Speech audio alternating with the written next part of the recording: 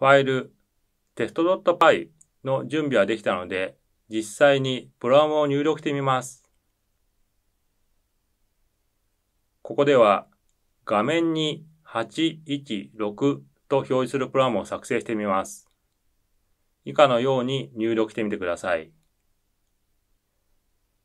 1行しかありませんが、これでも立派な Python のプログラムです。プログラムの説明をします。プリントというのはその後の括弧の中に書かれたデータを画面に表示する命令です。詳しくは次回の講義で説明します。ここではプリントの後の括弧の中に8、1、6と書かれているので、実行すると画面に8、1、6と表示されます。プログラムを入力する際の注意について説明します。1、プログラムは基本的には半角英数字で入力してください。漢字やひらがななど全角文字は使える場所が決まっているため、最初は全部半角英数字で入力してください。開き括弧と閉じ括弧は必ず対応して使ってください。括弧に大文字、小文字を区別して入力してください。例えば、プリントは先頭の P を大文字にしても間違いになります。また、途中の R を大文字にしても同様に間違いとなります。カッコ3、行番号は入力しなくても大丈夫です。これはプログラムの説明のためのもので、行番号をチェックしながら入力すると抜けが少なくなります。プログラムはテキストエディターに次のようにして入力していきます。カッコ1、左端から入力する。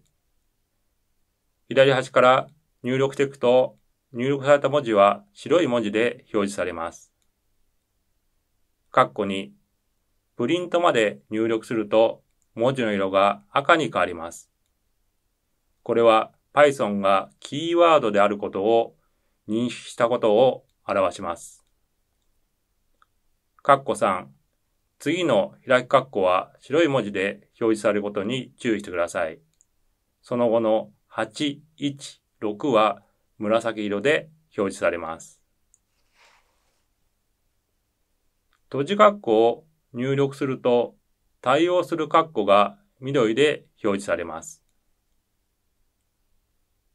この後にエンターキーを入力するとプログラムの入力は終わりです。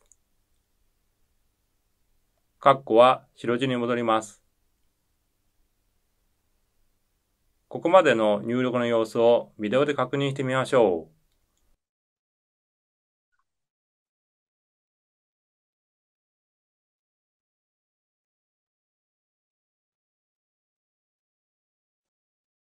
プリントと入力します。8、1、6と入力してエンターを入力します。プログラムの入力が終わったら保存します。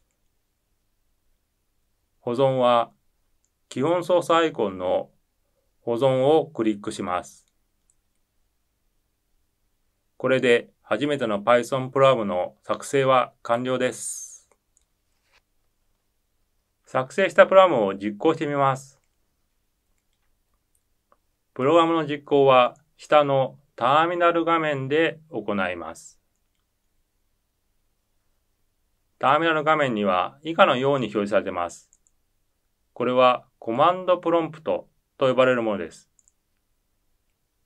講義資料のルートアットグールムチルダソフト1シャープという表示は皆さんのものとはちょっと異なるので注意してください。コマンドプロンプトのシャープの後に Python 半角スペース実行したいファイル名と入力し、エンターを押してください。